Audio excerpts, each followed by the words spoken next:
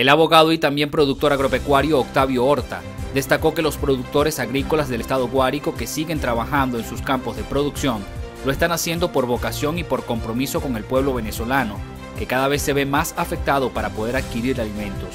Horta resaltó que en medio de la crisis económica del país, la siembra de distintos rubros es un reto para el sector dedicado a la agricultura.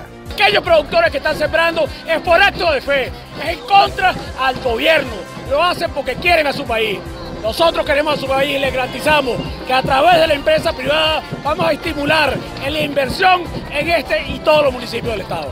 El diputado de la Asamblea Nacional también resaltó durante una visita a la población de El Sombrero que la producción de hortalizas está prácticamente paralizada.